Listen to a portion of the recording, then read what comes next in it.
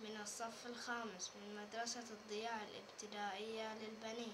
سأقوم بتجربة بسيطة نبين فيها تأثير ضغط الهواء في الأشياء.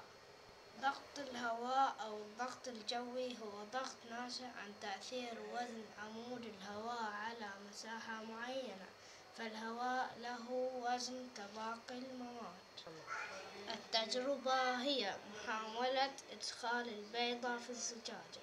نحتاج إلى إجراء التجربة إلى زجاجة وبيضة مسلوقة وأعواد الثقاب. سنضع البيضة فوق الزجاجة. لن تخ... لن تدخل البيضة في الزجاجة لأن ضغط الهواء خارج الزجاجة وداخلها متساويين. عند إشعال عود الثقاب وإدخاله في الزجاجة فإن ضغط الهواء في الزجاجة انخفض بفعل الحرارة.